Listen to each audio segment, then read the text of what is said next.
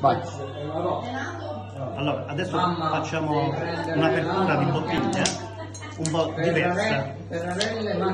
In sostanza non andremo ad utilizzare il verme, va bene? Ma utilizziamo un aggeggio particolare. L'apertura a pressione. Allora, chiedo scusa che faccio fare un po' di silenzio a Ludovico. Ludovico, silenzio. Allora, guardate. Allora, qua eh, faccio vedere, c'è un ago, va bene? E dopo eh, utilizzeremo la pressione. Allora, facciamo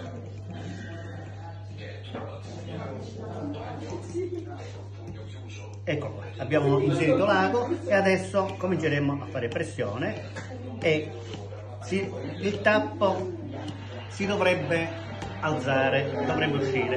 Vediamo un pochettino se ci riusciamo. Guardate come si comincia ad alzare.